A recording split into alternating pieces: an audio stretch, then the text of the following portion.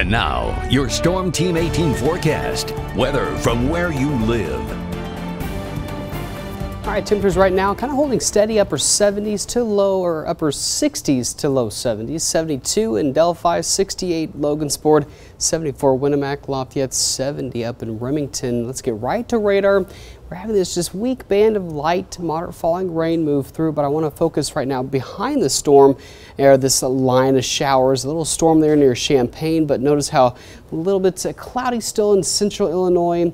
Seeing some breaks of the clouds in Missouri. We may see some of those breaks later on this afternoon but it still looks fairly cloudy. Notice some breaks in the clouds uh, just north of Champaign. That's where we may see a few peeks of sun here and there.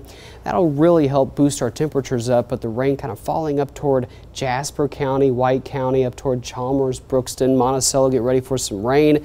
Uh, Francesville, Medaryville, get ready for some rain to move in. Winamac here within the next 30 minutes or so.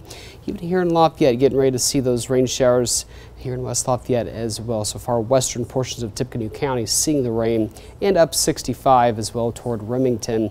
Uh, but this will continue to move to the east. Futurecast doing a good job of placing where that line of showers is. It's not showing as impressive or as uh, uh, intense, but we will see this move off to the east, kind of dissipate.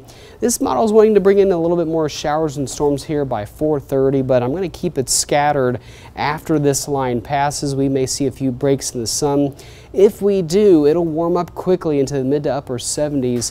We may hit that 80 degree mark, but notice here, this is 11 o'clock. We're mostly clear, maybe just a spotty shower or two, but here after about uh, 2, 3 o'clock in the morning, we'll be watching very closely what happens in Illinois. Storms will likely develop and travel off to the east. It's kind of breaking up here right across uh, Lafayette, but I think we will have a better chance just of a line of uh, complex of storms We'll be monitoring over the viewing area uh, by 5.30. Some could be strong to severe moving off to the east. But tomorrow, very sunny. It's going to be muggy and then kind of round two works in after 6 to 8 o'clock. Here's the cold front moving in. This is 9.30. That passes out and moves out of the viewing area. And we left with more sunshine for Saturday, maybe a spotty shower or two Saturday afternoon.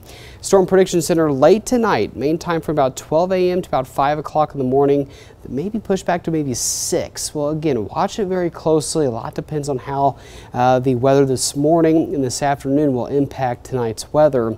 So you'll want to be sure to tune in with tonight with Chief Meteorologist Chad Evans. Level 2 slight risk for Lafayette and westward. Level 1 marginal risk. Damaging winds will likely be our main threat, as well as the storms tomorrow with that cold front from 8 o'clock to about 1 o'clock in the morning Saturday.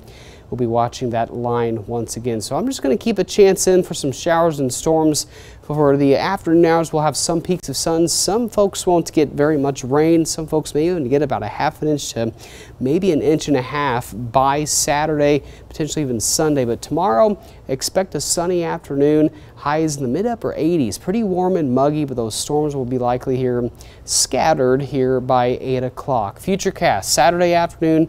It looks more bark than bite. Some just scattered isolated showers as these kind of are wrapping around the upper level low continues here for Sunday, and then we are dry from Monday there out for the rest of the 7 and 10 day. 81 Saturday, 82 Sunday, and as we get toward early next week, we'll continue with the dry weather.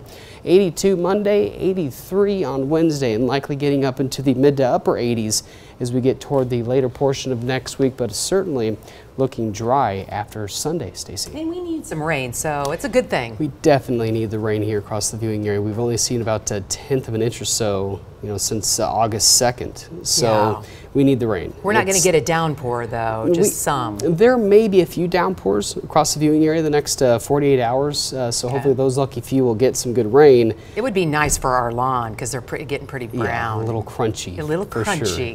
Yes. Not fun to walk on right now. Definitely not, no. a little hard. All right, thanks, David. Yeah. Well, if